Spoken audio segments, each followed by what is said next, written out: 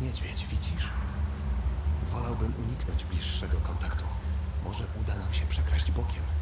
Powoli i ostrożnie, uważając na każdy krok. A jeśli myślisz, że masz szczęście, możesz wziąć ten łuk. Może go zaskoczysz. Naprzód. Będę tuż za tobą, pilnując tyłów.